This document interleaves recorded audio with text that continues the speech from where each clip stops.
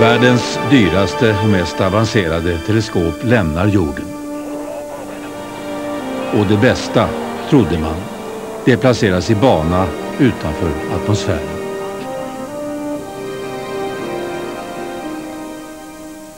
Men bilderna utifrån universum är en katastrof.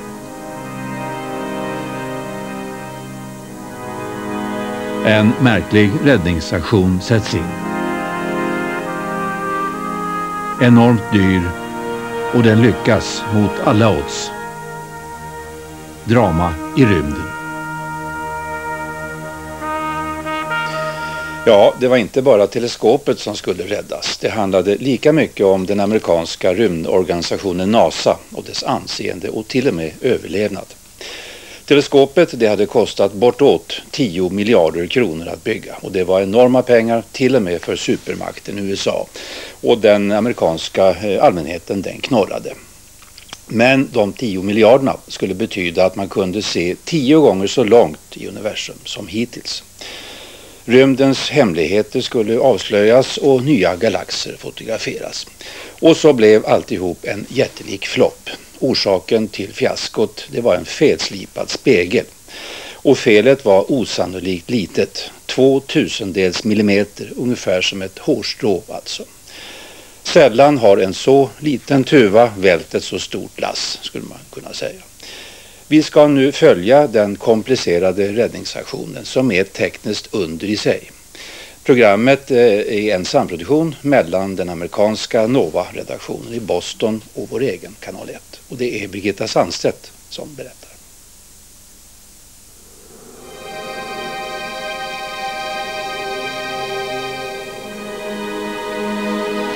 På bergstoppar runt hela jorden öppnar teleskopen sina portar mot natthimlen. Varenda kväll samlar de in och koncentrerar minsta antydan till ljus från fjärran föremål. Ljus som färdats i miljoner år, över miljarder mil. Genom att fånga in stjärnljuset kan vi utforska trakter som annars inte kan nås eller förstås.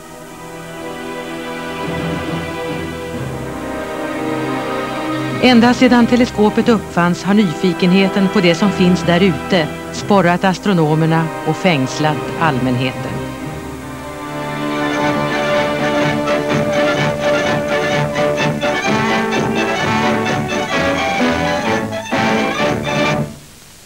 Six thousand feet up with Mount Wilson Observatory below, the scientific eye of America. To this mecca of stargazers flock astronomers from all nations. På 1920-talet gjorde en herre vid namn Edwin Hubble en upptäckt som skulle bestämma kursen för astronomin under hela seklet. Han var den första som insåg att universum var något mer än vår egen vintergata.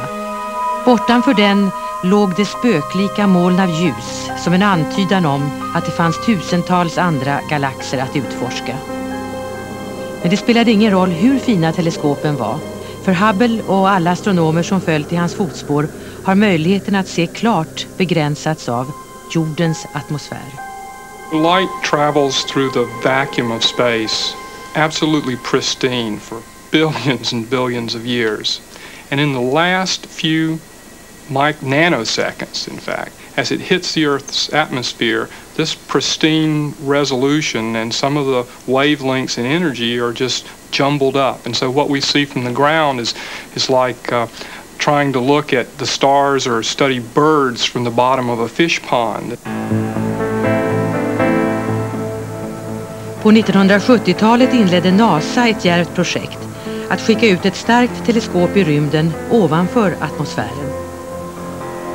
Företaget Perkin Elmer skulle tillverka teleskopets viktigaste komponent, själva spegeln.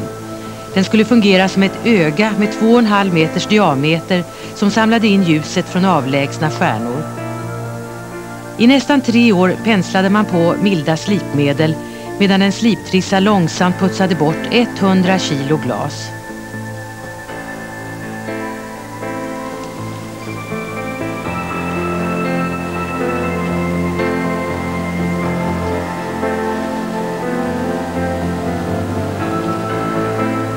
När den var klar fick ingen knöl eller räffla på den här spegeln vara större än någon halv miljondels centimeter. Det var den slätaste större ytan i hela världen. När teleskopets alla olika delar kom till Lockheed för slutmontering 1984 hade projektet redan kostat en halv miljard dollar och krävt 50 miljoner arbetstimmar. The physical thing about the telescope is it's so big. I know the first time that I went out to Lockheed and we had stacked the forward light shield on the telescope and it was in the, the assembly frame, I looked up at it and I thought, wow, this is really big. You don't really get a feel for the size of it. It's until you stand at the bottom. It's almost five stories tall. This is like launching a small office building, if you will, into space. And just the size of it is, uh, is the first thing that strikes you. So trying to handle it, trying to test it, trying to assemble it. I mean, everything about this project was big. Särskilt budgeten. Och på grund av Challenger-katastrofen kom det färdiga teleskopet att få lagras sterilt i åratal för 7 miljoner dollar i månaden.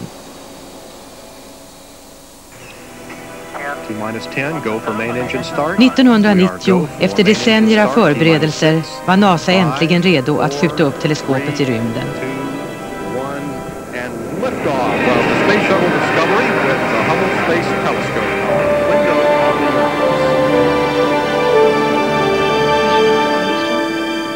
Alla hade höga förväntningar på det här underverket till teleskop. Astronomerna räknade med att kunna se tio gånger tydligare än tidigare och avslöja universums hemligheter. Men två månader senare måste astronomerna som kämpade med att få fason på de första bilderna från rymden dra en chockartad slutsats. Det var ingen som kunde tro det, men teleskopet hade ingen skärpa. De suddiga bilderna orsakades av att spegeln var för plan. Krökningsfelet var mindre än bredden på ett hårstrå, en minimal avvikelse, men tillräcklig för att göra bilderna värdelösa. and I got a call uh, from uh, I forget who actually called me, but it was somebody from Goddard, probably the project scientist, who said, "Hey, uh, you better come in. You know, uh, it, we've got the problem is real. It's beyond our ability to fix it, and we've got to go public with it." NASAs ledning hade svårt att få fram orden. The conclusion we've come to from that is that there's a significant spherical aberration appears to be present in the optics, in the, in the optical telescope system optics. Journalisterna som såg de första bilderna var skeptiska. What might have made this happen? What are the possible things that could have happened to make this mirror not look Allmänheten blev ännu argare när man började inse vad tabben hade kostat. En utredning visade att teknikerna hade avfärdat uppgifter som tydde på att något var fel. Själva den optiska testapparaturen för kontroll av spegeln var inte heller korrekt inställd. Både NASA och Perkin-Elmer skyllde misstagen på kostnadsproblem och pressade tidsramar. The Inspector General's report points to a kind of climate on the program in 1981 and 1980, the time when the mirror was being ground and polished. It was a climate on the program where people were extremely concerned that the program might get cancelled. The budget pressures were enormous. The time pressures were enormous. So there was a, a great sense that if, prog- if problems are brought forward without good solutions, maybe the program itself might get cancelled.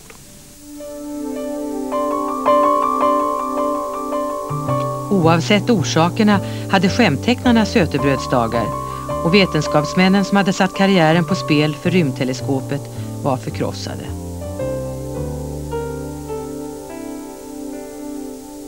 It was it was pretty awful because we weren't sure what the future, you know, would would, would bring. Uh, there was no guarantee at that point. In fact, we didn't even have a plan to fix it. Uh, Hubble, of course, was built with servicing missions in mind. But when when you have a major problem like this, the big primary mirror uh, broken essentially, how do you how do you fix that? Tre månader senare träffades de ledande teknikerna på Europeiska rymdstyrelsen i Tyskland.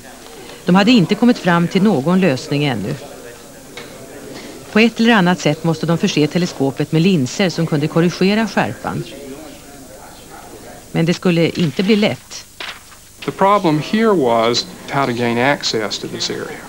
Very deep inside the telescope, there was no way for astronauts to, to reach in. It's very much at the heart of the telescope, at its very center core. And uh, there's a lot of equipment around this area. So thinking we were going to get an astronaut in there somehow to place something was, uh, was quite unlikely. Jim Crocker visste varken ut eller in. Han fick inspiration från ett ovanligt håll. Now the shower fixtures in Germany are really quite unique. They're on a rod, they slide up and down and the, uh, the shower head can be adjusted into any angle. So as I slid it up and then folded it into the out position, it just clicked. Han förstod att han kunde utnyttja samma anordning för att montera in linser i teleskopet. Han skulle ersätta det minst viktiga instrumentet med en låda i samma format som kallades Co-Star och innehöll korrigerande linser.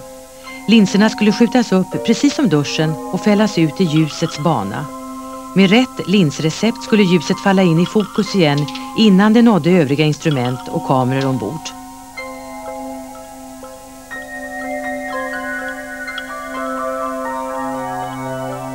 Men samtidigt som teknikerna började konstruera CoStar växte problemen med teleskopet. Det skakade och det gick inte att rikta teleskopet stadigt mot en stjärna.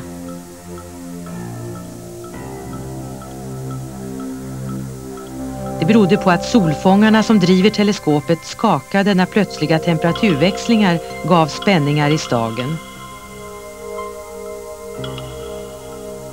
Efterhand som andra brister uppdagades blev teleskopet till en symbol för allt som var fel på NASA. Man drog upp ambitiösa planer för en räddningsexpedition. The pressure was bad enough to fix Hubble.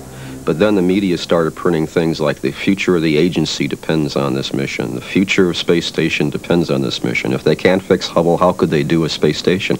So things weren't bad enough. Were bad enough, and now suddenly, on our shoulders was the future of our agency and 25,000 employees within NASA and 180,000 contractors who support NASA.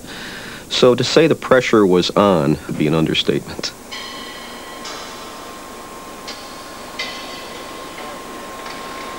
Träningen för det omöjliga uppdraget inleddes.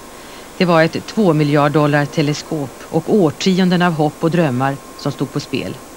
Uppgiften anförtroddes sju astronauter. En av dem står i Musgrave som ska leda rymdpromenaderna. Idag ska gruppen försöka komma underfund med hur en astronaut som sitter i änden på en robotarm utför de här känsliga reparationerna i rymden. En del av svårigheten med det här arbetet är att det nästan saknas tyngdkraft i rymden. Föremål väger praktiskt taget ingenting och det gäller även astronauterna.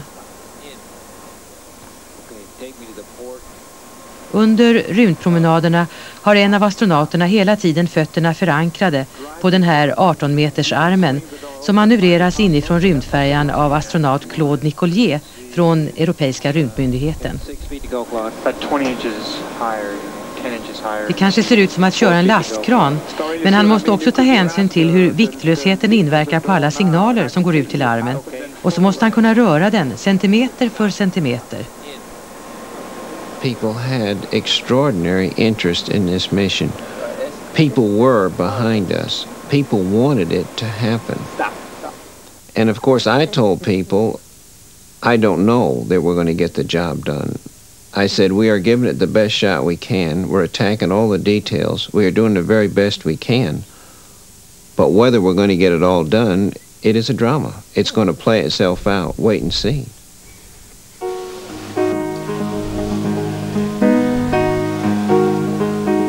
Astronaut Tom Akers är flygvapenpilot.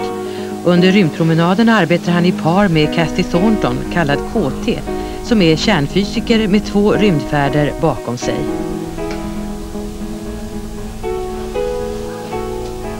Eftersom det var så mycket som stod på spel med expeditionen arbetade astronauterna i akvariemiljö.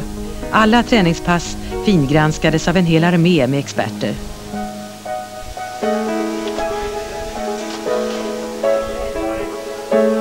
Planned and planned and planned and trained and trained and trained. The astronauts spent 400 hours in the uh, water tanks at Johnson and Marshall Space Center. And the management team also went to uh, Johnson during these integrated simulations.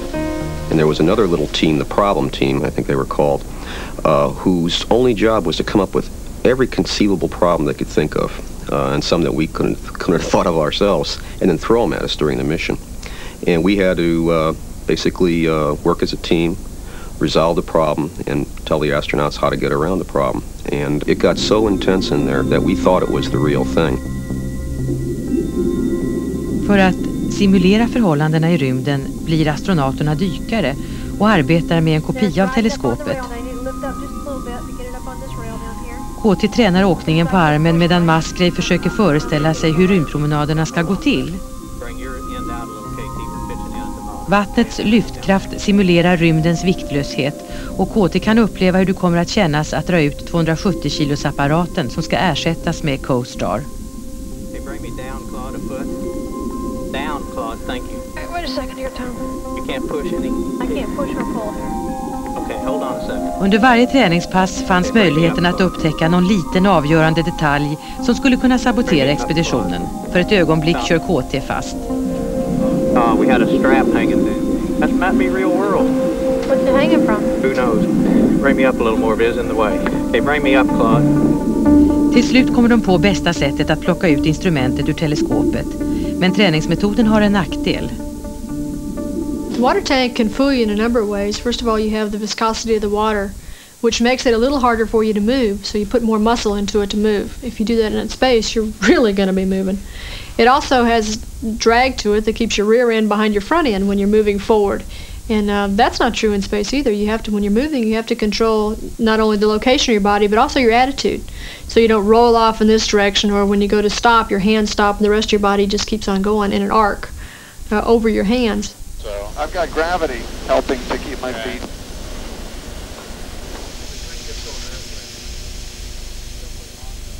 En ny simuleringsteknik lär dem hur det känns utan atmosfär. Astronomen och astronauten Jeff Hoffman lär sig att inte ta i för hårt när han rör vid föremål i rymden. En avancerad lyftanordning håller Hoffman svävande ovanför ett luftkuddegolv där luft pumpas in under så högt tryck att föremål flyttar sig vid minsta beröring.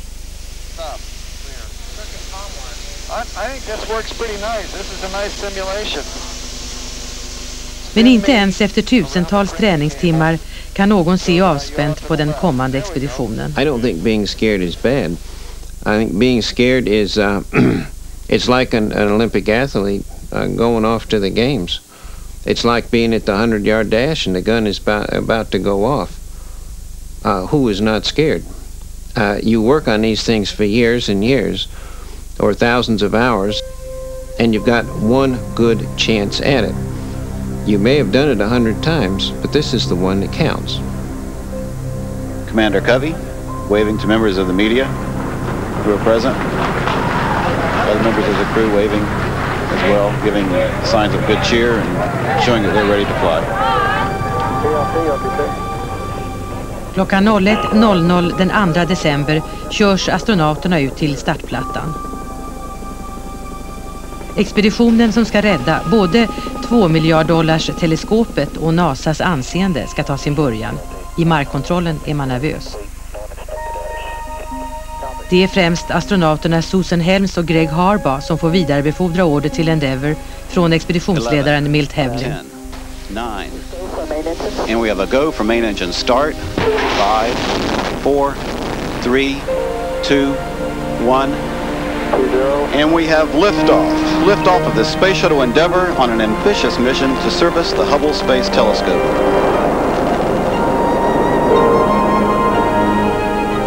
Det kommer att ta astronauterna två dygn att hinna ifatt teleskopet som far i omloppsbana 60 mil ovanför jordytan i 29 000 kilometers hastighet.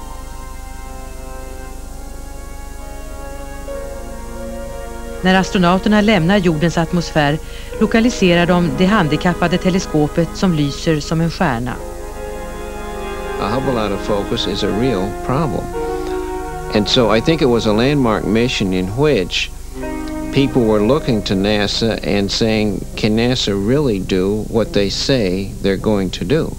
I think the world wanted Hubble to be fixed. Endeavour närmar sig teleskopet med befälhavaren Dick Covey och piloten Ken Baversox vid kontrollerna. Tally-ho on Hubble there, uh, Houston. Copy that, Covey. We're anxious to hear any words you have to say about what you see. And Houston, it's really big. We can't wait to see the video, Sox. När teleskopet kommer inom räckhåll gör sig Claude beredd att greppa det med robotarmen. The grapple happened exactly at sunset.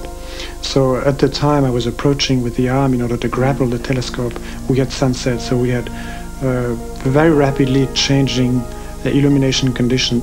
In fact, the sun sets and rises in about 15 seconds on orbit. So rapidly changing conditions made things more difficult for me. I wouldn't say that you have only one trial, but uh, you can't make too many mistakes there, obviously.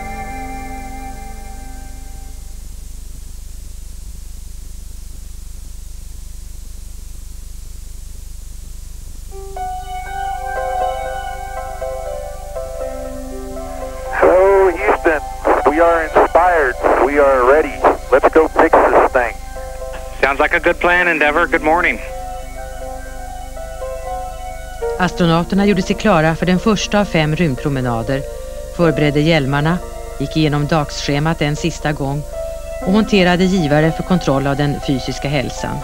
Det här var en expedition där omsorgen om tusentals detaljer var den enda garantin för ett lyckat resultat.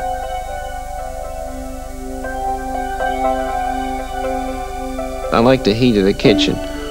I live in it and I've lived in it for decades and I thrive on it. And so it gets me up to where I've got to be. Going out the door for the first time, I was incredibly interested, concerned about have we nailed it in terms of our imaginative process? Are the simulators right? Are the mock-ups right? Did we approach this job right? När de går ut i rymdfärjan är det Musgraves kollega Jeff Hoffman som sitter längst ut på robotarmen.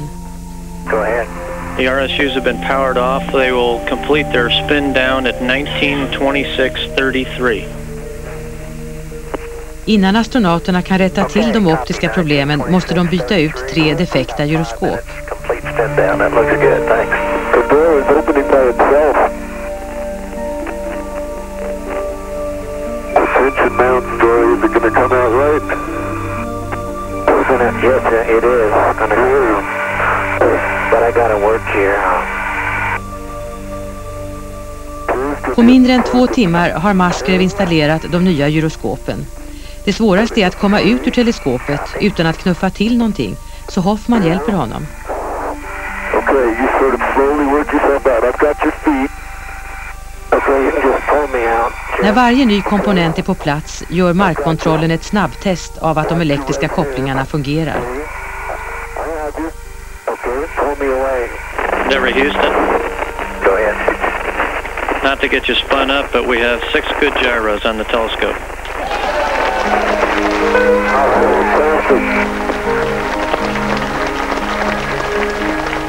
I wanted to go out day one and I wanted it to go like I had planned it to go. I didn't want to go out and tumble head over heels. I didn't want to go out and find out right off the bat things are not working the way they did downstairs and that's the way the whole five days is going to go, one surprise after another. Men de skulle råka ut för en stor överraskning. En så enkel sak som att stänga portarna visade sig bli det slags problem som Musgrave fruktade. As I push it closed, I feel no resistance until the inside of the door is even with the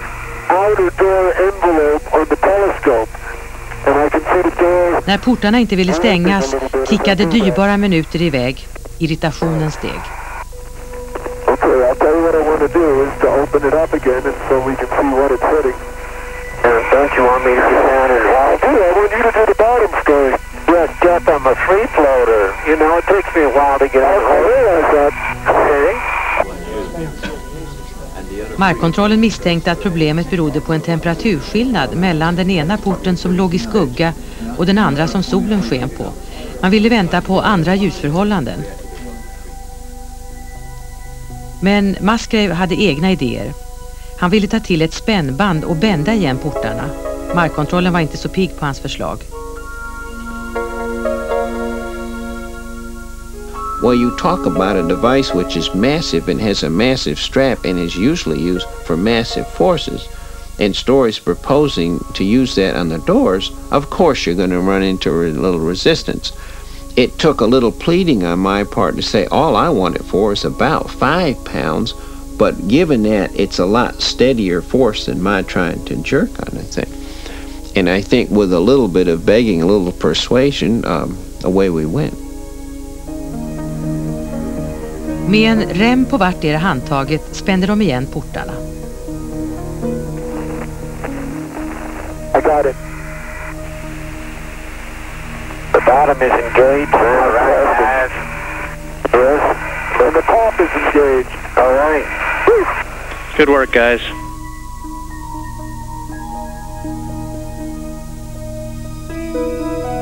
När portproblemet väl var löst dök en ny svårighet upp.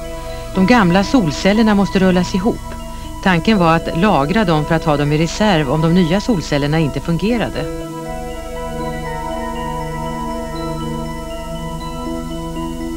Thirty seconds to motion. Den första enheten rullade in sig precis enligt planerna.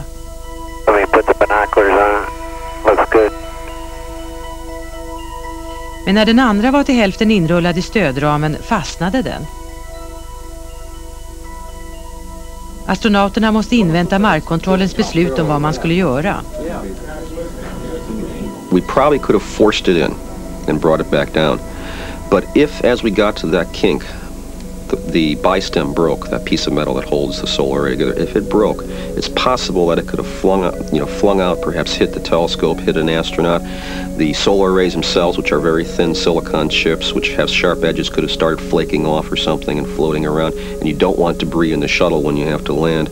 So the safest thing to do was just to throw it away and not take the chance.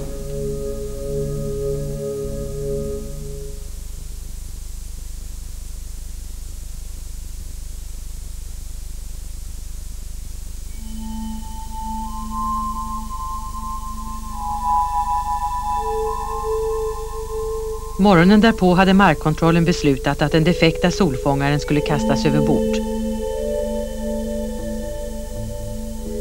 Cathy Thornton och Tom Akers gjorde sig redo för sin första rymdpromenad på den här expeditionen. Interesting thing about this is this was not the first spacewalk for any of us that went outside, and so the the initial uh, feeling of anxiety that you might have the first time you go out is, is more, um, can I do it? I spent my time hanging in the airlock thinking, this is just like the water tank. It's just like the water tank. It's going to work just like the water tank. Just trying to tell myself that, that nothing was going to go wrong. Det första momentet som KT skulle genomföra var riskfyllt. Hon satt längst ut på armen och väntade på att kunna kapa anslutningarna till solfångarna. I solljus blir panelerna för heta så arbetet måste utföras nattetid. KT uh, jettison time is sunrise, so you're going to be hanging on to it all through the night. So. Markkontrollen ville försäkra sig om att piloten fick tillräckligt med ljus för att kunna manövrera undan rymdfärjan från den dumpade solfångaren. Eftersom solen går upp och ner var 40-50 minut upp i satellitbanan fick Katie ligga still och vänta i mörkret på nästa ljusväxling. You'd think being in a suit for six or seven or eight hours would be a real hardship, but it goes by so fast that you don't have time to get hungry. At least I never have. Um, I drink some water, but I don't have time to get very thirsty. You're just, just working. And you do become very focused. And if somebody wants me to look at the earth or some spectacular sight we're going over, they have to tell me to do it because I'm not looking. I'm only thinking about my hands and what goes next. I think I see sunrise coming, KT. Endeavour Houston with a final refinement on the SEP sequence for Covey. Go ahead. Covey, since we want you to use your best judgment, that the pitching array will definitely clear the top of HST. We understand. And when you're happy with the lighting, we concur you've got to go for release. Yeah, I'll start there. Okay, understand we have a go for release. Copy.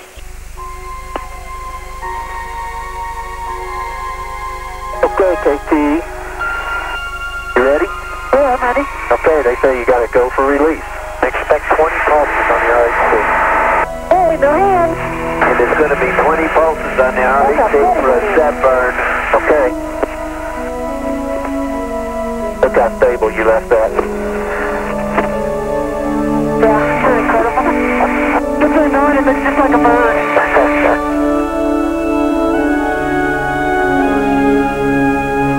När piloten försiktigt styrde rymdfärjan i motsatt riktning träffade solfångarens vingar av strömmar från jetmotorerna. And it was really great to watch the, the jet plume hit the solar ray. And it just flapped and it almost doubled over at one point and then popped back and it was just soaring cruising over the desert in the Middle East. It was really a beautiful sight. Innan KT och Akers återvänder in i rymdfärjan ska de installera de nya solfångarna. NASA får chansa på att de fungerar i färdigmonterat skick. För tillfället verkar teleskopet vara i god fysisk kondition. Men de närmaste två dygnen kommer oroliga vetenskapsmän att övervaka när astronauterna reparerar synen på det.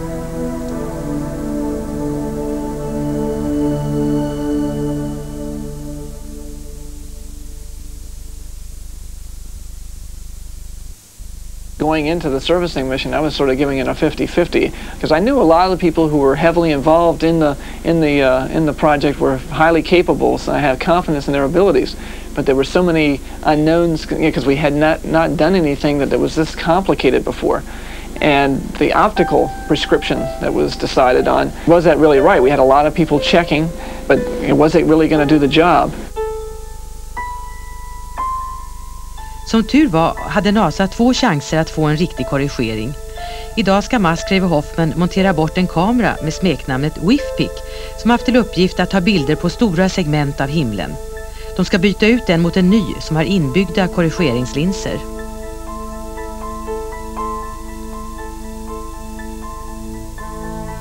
Även om CoStar inte skulle fungera bör åtminstone den här nya kameran ta skarpare bilder. Förutsatt att astronauterna inte skadar den ömtåliga optiken. We knew we were a threat to the telescope, our very presence. I was worried about even touching Hubble. It's been out there three and a half years. Even the slightest touch, you may create some kind of dust. I was worried about putting our tethers at a metal hook onto handrails that had paint on them, and any kind of tension on that is going to make some little chips. There was something so basic and primitive about it, the humans and their tools, and the drama of whether it was all going to get done. Look at that baby. Beautiful, spanking new whip. När porten till lastrummet öppnas svävar astronauterna ovanför den nya vidvinkelkameran. Har den överlevt uppskjutningen? Markkontrollen tittar på med spänning när den nya kameran lyfts ut.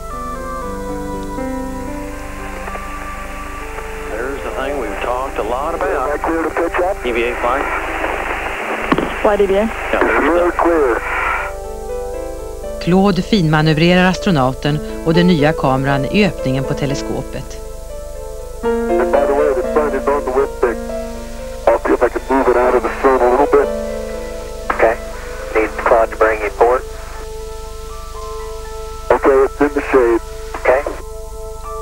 Nu kommer det mest kritiska momentet. Markkontrollen väntar tålmodigt på att Story ska lyfta av kameraskyddet.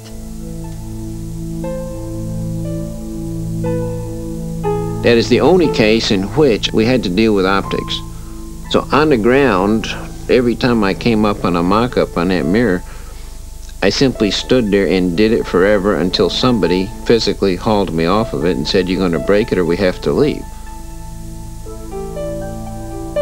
I nattmörkret drar Story försiktigt bort skyddet från den noggrant inställda spegeln. You rotate the cover down. As soon as the cover is out of the way, the mirror is right here. It's about six inches in front of your face. And anything that touches that mirror, that is the most powerful camera in the world. It sees the furthest out there in space and time. If you touch that mirror, however you touch it, that will be on every single image that comes down from the world's most powerful camera. Men Musgraves ihärdiga träning har gett utdelning och nu kan astronauterna sätta kameran på plats.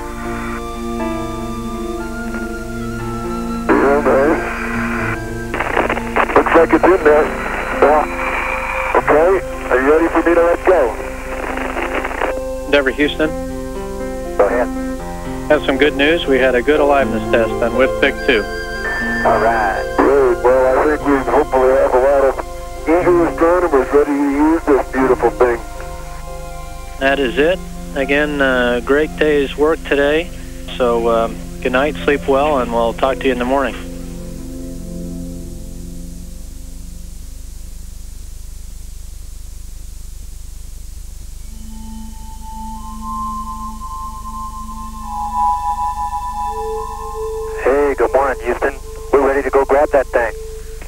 Bet you are. We were hoping you'd say that. Good morning to you. Hey, Houston, Endeavor, y'all were being real nice to us this morning. Well, we thought you deserved a little bit of a rest. If you're interested, we have some wake-up music, and if you're not, we can skip it. Uh, you know us, we love the wake-up music. Okay, we'll see what we can do. I can see clearly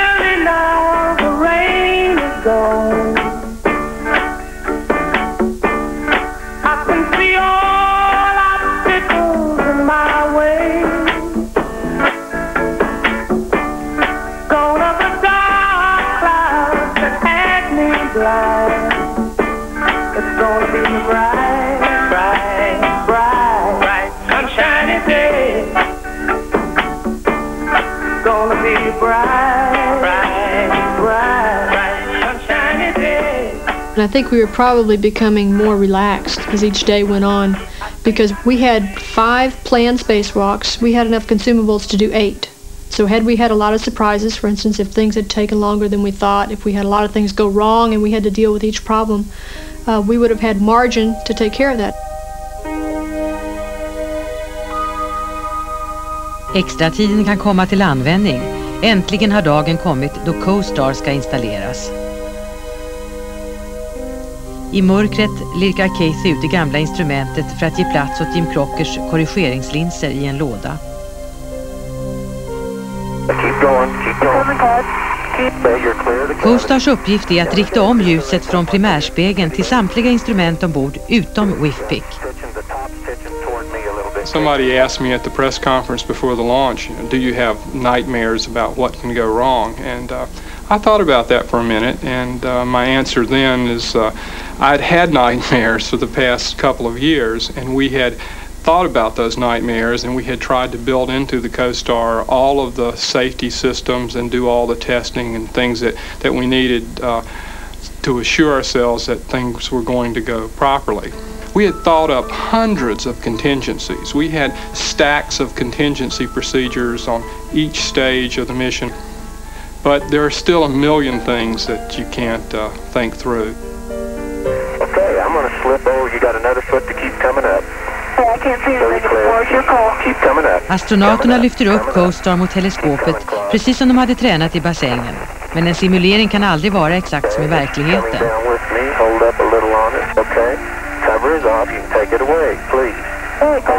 While these instruments were designed to be changed out, we had not actually changed them out in a way exactly like we would on orbit.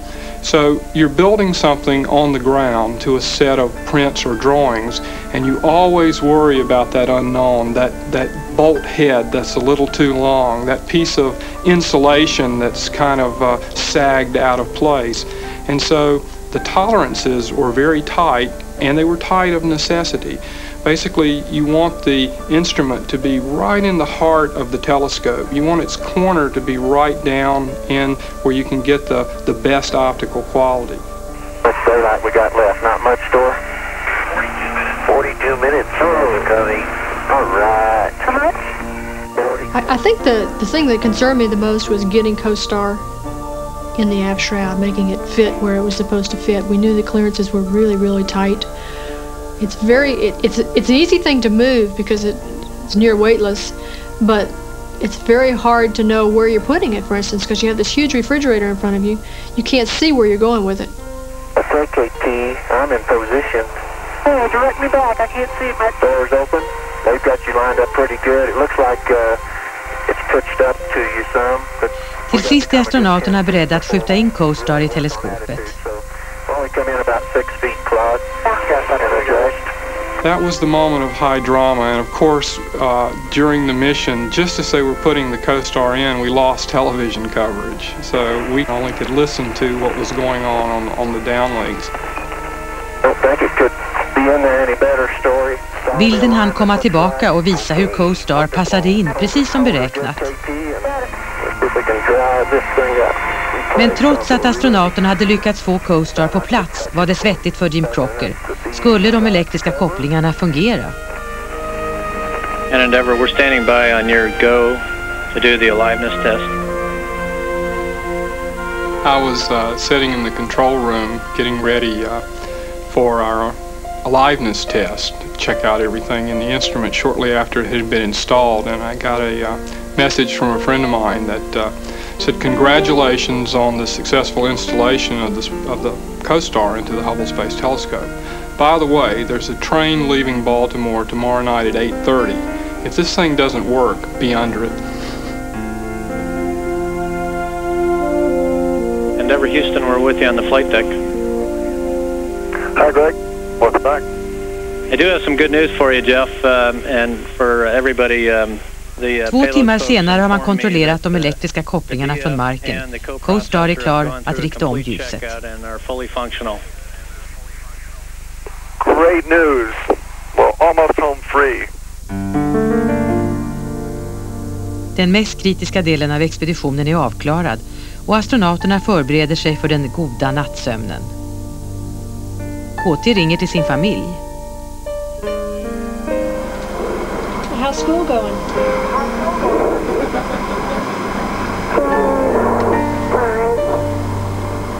Are you learning anything? Why do we keep sending you to school if you don't learn anything?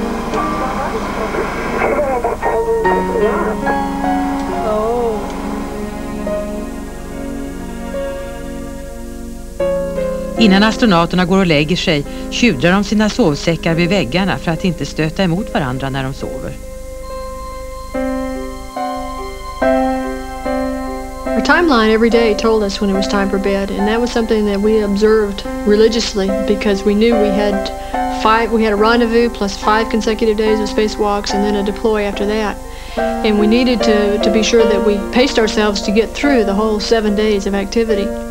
I must confess that there is one part of the world that I like a lot. It's uh, South America.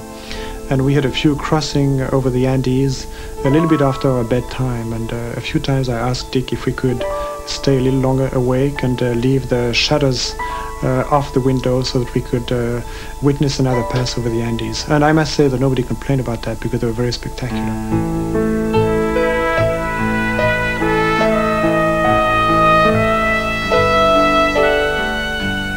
Nu är det bara en rymdpromenad som skiljer astronauterna från en total framgång. Imorgon väntar slutuppgiften, att veckla ut de nya solfångarna.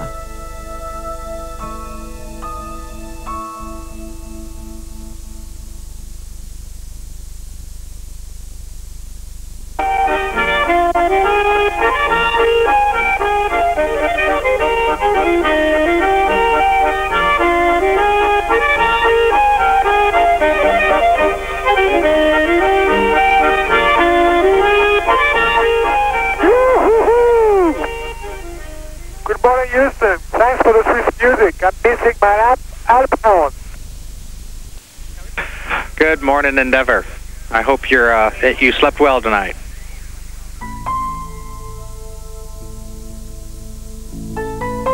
Stämningen förtätas snabbt när besättningen gör sig redo för sin sista rymdpromenad. Innan solfångarna är utrullade är rymdfärjan teleskopets enda kraftkälla. Men man får problem. Mekanismen som rullar ut solfångarna är inte konstruerad för att bytas i rymden och skruvarna som fäster den vid teleskopet är för små för Musgrave och Hoffman. Well, another one came out of the bag and I caught that too. All right. There were five or six different times in which I was playing with a loose screw in front of my face. And I would most of the time do this with it, trying to slow it down so I could get it stopped right there. Then I would grab it, but I couldn't even grab the screws, not with my gloved hand. It, I just couldn't grab something that small, it turns out. So what I would do is I'd open up my trash bag down here and I would herd the screw along. Then I'd see some of these coming out. I would have to stop herding this screw, tap these back down, and then go back to getting this thing in the hole and let it go. Oh, it's gone. Oh, Till slut försvann en av skruvarna. You see it? It's down below. Most of the time we had very good control of our motions and what we were doing. But on the end of a 60-foot arm with very bulky gloves and, and the whole thing there in a 500-pound suit trying to deal with screws 2 and 3 millimeters in size is extraordinarily difficult. Claude's going to bring you down to it. Take it easy. Take it easy. Take it easy. I think you're down slowly, and then En skruv på villovägar skulle kunna hamna var som helst och skada teleskopets känsliga mekanism. Astronauterna försöker följa de återkommande reflexerna från skruven som är på väg mot lastrummet. The sun was illuminating the screw and the screw was rotating, so it was like a flashing beacon. Of course, I had to act relatively rapidly because after a screw had entered the cargo bay, it would have been very difficult to trace. It could have possibly bounced on the surface and uh, gone back uh, away from the cargo bay, but it could have also lodged it itself in, a, in an area where it could not have uh, found it again. So it was to be avoided to, to lose that screw. You, you never know where it goes. I sista minuten får Hoffman tag i den. okay, arm stop.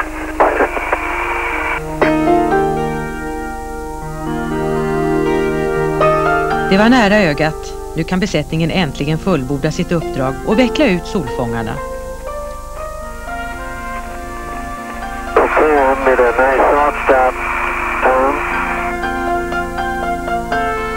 Astronauterna håller sig på säkert avstånd medan solfångarna vecklar ut sig.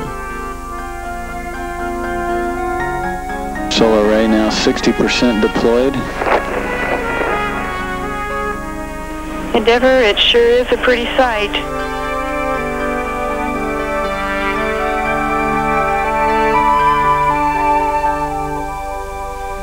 Endeavor Houston, I know this must get tiresome, but I have more good news for you. We have two good solar arrays.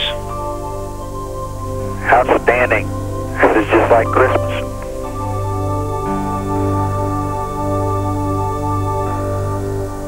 Astronauternas uppgift var nästan fullbordad. Det enda som återstod var att släppa teleskopet i dess omloppsbana igen.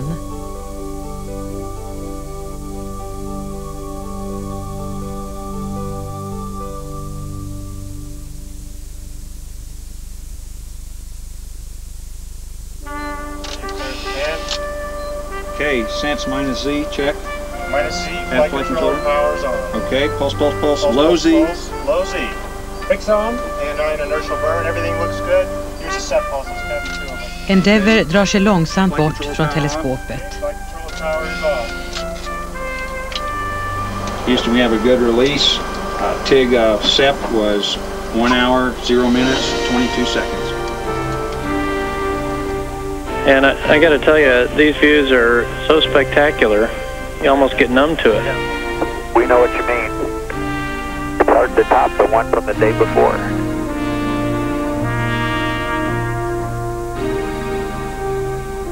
Astronauterna har klarat av historiens mest avancerade rymdpromenader. Nu kan de bara titta på när teleskopet glider in i sin egen satellitbana.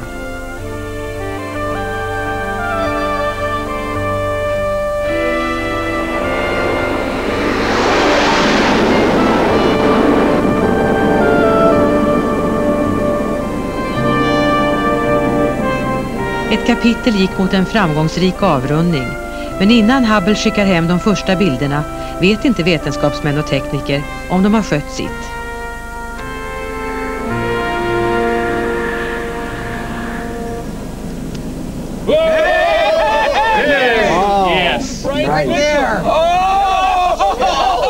En vecka senare fick de svaret.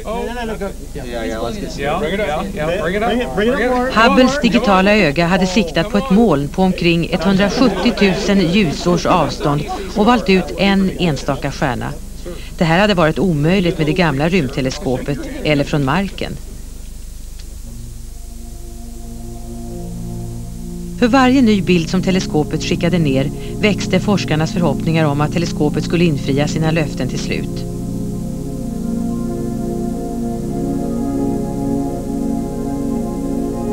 Skärpan i den här bilden av en rad kometer som far in mot Jupiter kan ju konkurrera med bilderna som sändes till jorden när Voyager passerade tätt intill planeten.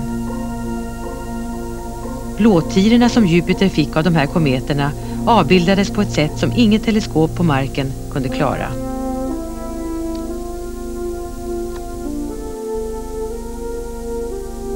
Ännu längre hemifrån, en av de största stjärnorna i Vintergatan, Eta Carine, ser bara ut som ett dis i teleskop på jordytan. Hubble visar tio gånger tydligare hur den släpper ut enorma gas- och stoftmoln. Med bilder av det här slaget kommer astronomerna att kunna lösa gåtorna om hur stjärnor lever och dör.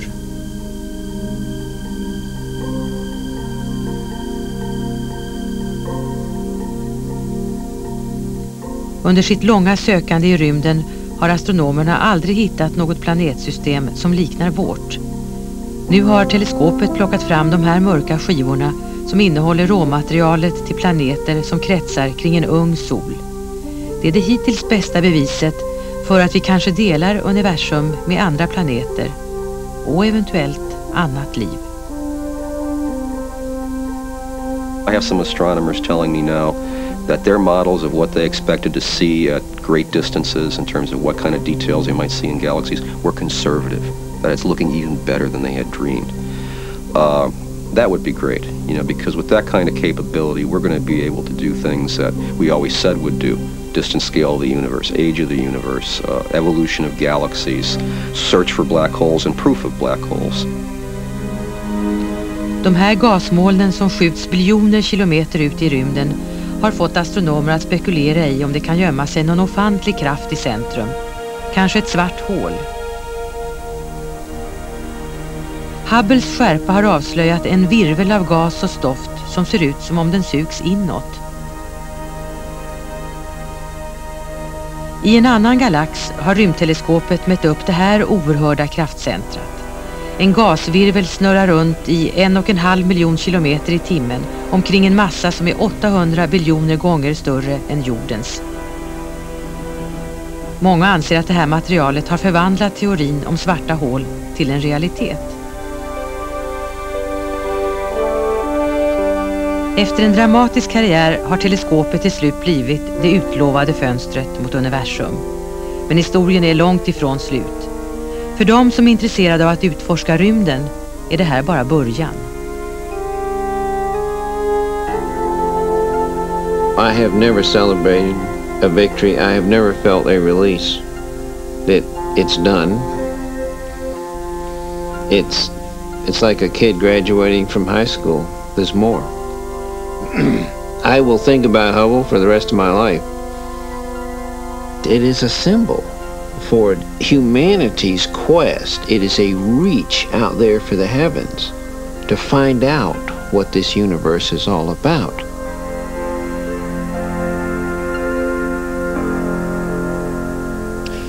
Ja, så gick det alltså till när NASA räddade både ansiktet och rymdteleskopet Hubble. Och vi andra, vi får nu möjlighet att titta in i ett okänt och svindlande universum. Och därmed så är vi framme vid innehållet i nästa Vetenskapens värld.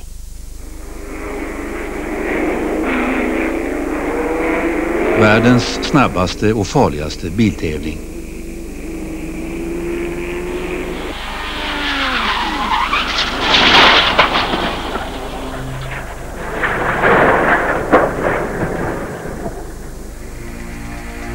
Luftströmmarna påverkar direkt fart och säkerhet. Och de så kallade nedåtkrafterna avgör om bilen ska stanna kvar på banan.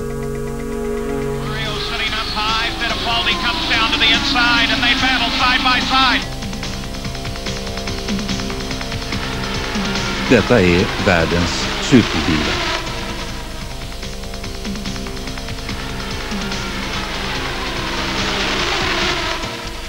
Om detta handlar alltså nästa Vetenskapens värld. Men nästa söndag så blir det djur och natur här i ettan. Alltså med Arne Weise och ett med naturen. Vi är tillbaka om 14 dagar. Tack för oss och god afton.